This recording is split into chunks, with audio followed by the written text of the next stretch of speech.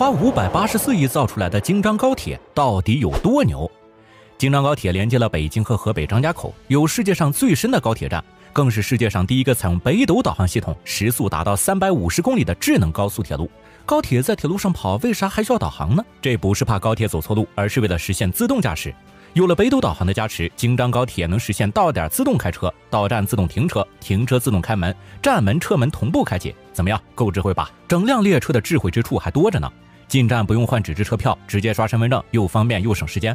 全程 WiFi，不管你是临时办公还是刷视频买东西，一点都不耽误。